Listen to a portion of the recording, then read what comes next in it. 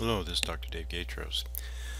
This is for my CDA 3100 class, Computer Work 1. We're going to do a sample MIPS assembly program in Qt-SPIM. This one actually is a square root routine, which we're going to show you how to do a simple compile, or assembly actually, and um, standard calling practices. So let's just get started. We're going to start off uh, writing our code here. This is WordPad I use to write the code.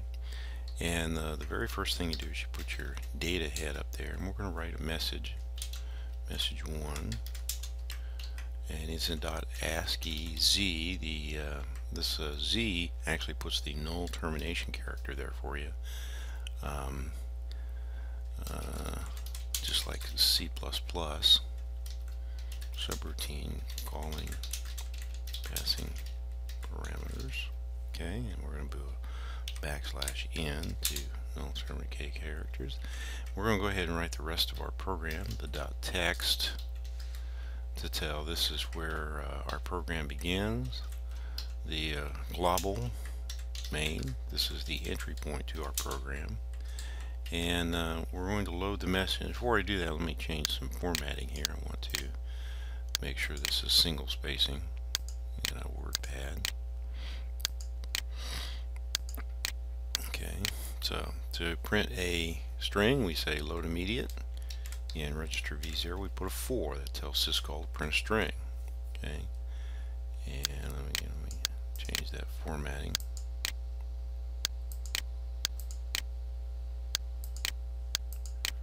Okay, and then uh, we load the address of the string in register a0 message 1 and then we perform the syscall and then the jump register uh, RA actually ends the program. Well, let's save this. I'll save. Let's go to our Qt SPIM. Say yes. And we're going to go load it.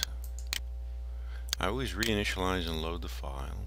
That uh, just clears up everything and starts anew.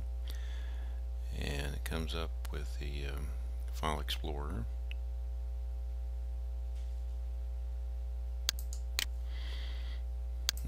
Go. Video code, we're going to open. If we got any assembly errors, it's going to come up here, and it didn't. So everything looks okay. We're going to run. Make sure your console is turned on so you can see it and said sample subroutine calling passing parameters. Okay, we're good. Very good. Alright, now let's continue on. The next thing we want to do is we want to uh, input a floating point number that we want to get the square root of. Message 2 we'll call it a dot ASCII Z. Okay, enter a floating point number. Okay, that's message 2. So we're going to do the same thing here. We're going to load immediate v04. We're going to load the address of a0 with message 2. And we're going to syscall. I could at this time go ahead and test this. I know it works. I've got the code in front of me. What I want to do right now is I want to read in a floating point number and that's done by loading the number 6 into v0 and then doing the syscall. So it's going to try to read in a floating point number. Now the number is actually put into a special register dollar sign F0 and uh, we're going to move the contents of that into a floating point zero floating point register at 4 to uh, say uh, preserve it. So we'll say F4 contains the floating point value.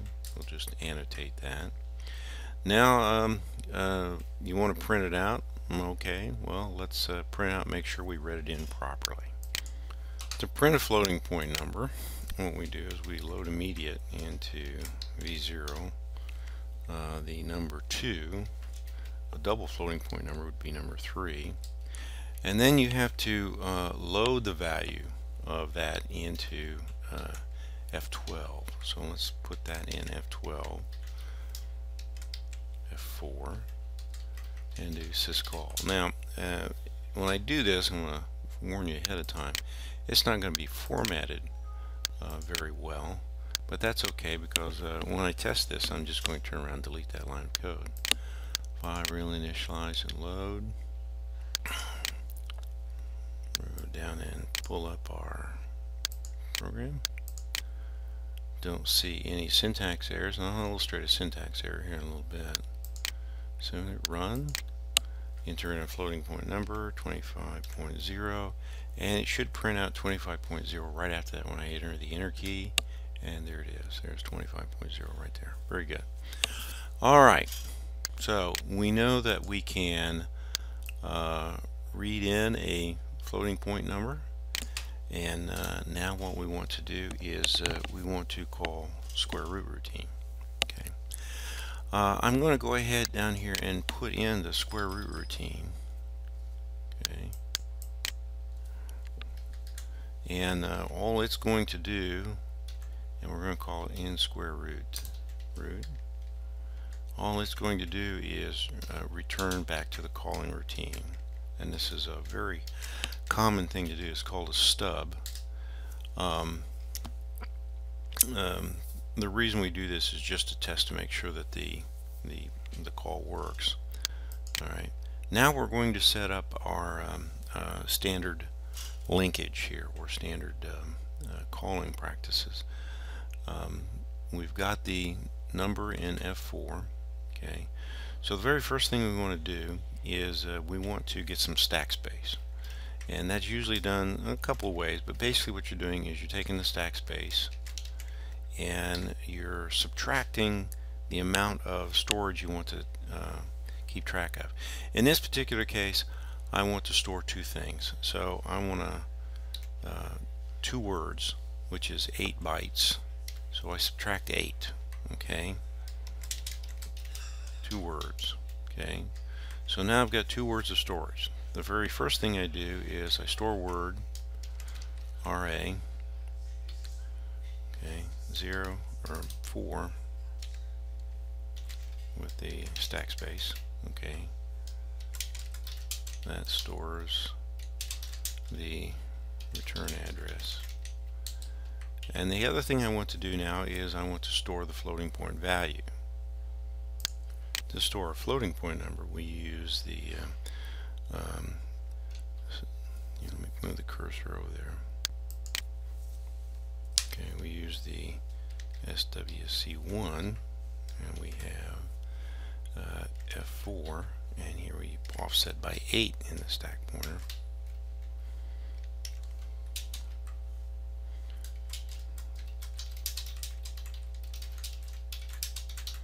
Number. And then then what we can do is we can actually do our jump and link to in square root. And then when we get back, we uh, load word the uh, RA from the stack pointer. And then we load word C1 from the excuse me F4 from the 8 on the stack pointer and then we can stop our program. Well let's save that and try it. See if we've got any errors here. We might. File. Oops. File reinitialize and load. Okay.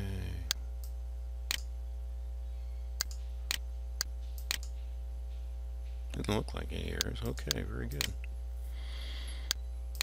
Run 25.0 and the program stops, terminates, we're okay. So everything seems to run okay without exceptions.